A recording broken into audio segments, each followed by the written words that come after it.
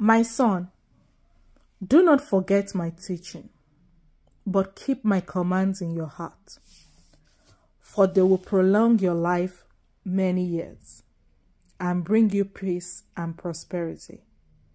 Let love and faithfulness never leave you. Bind them around your neck.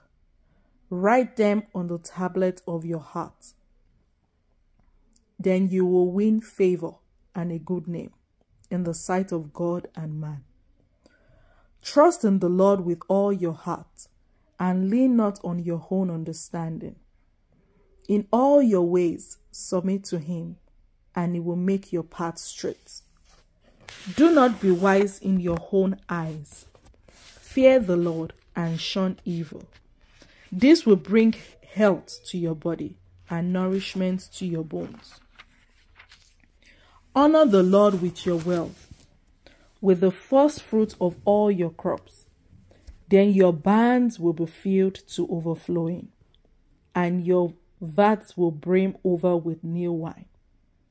My son, do not despise the Lord's discipline, and do not resent his rebuke, because the Lord disciplines those he loves, as a father the son he delights in. Blessed are those who find wisdom, those who gain understanding, for she is more profitable than silver and yields better return than gold. She is more precious than rubies. Nothing you desire can compare with her. Long life is in her right hand. In her left hand are riches and honor. Her ways are pleasant ways, and all her paths are peace.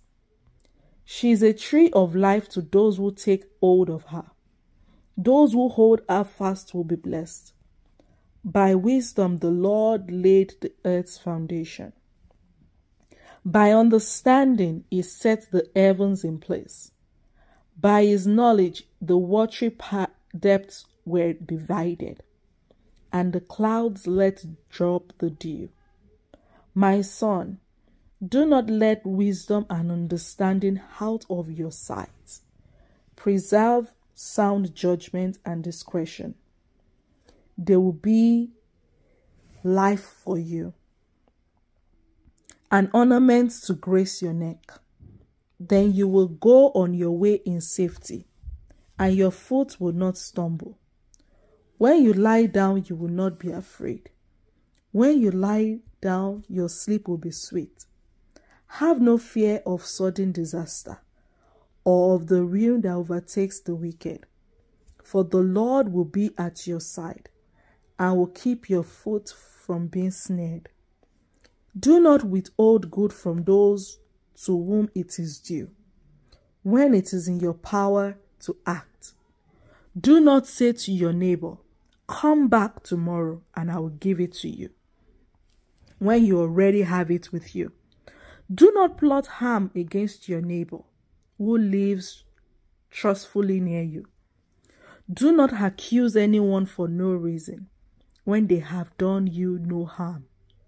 Do not envy the violent or choose any of their ways, for the Lord detests the per perverse, but takes the upright into his confidence.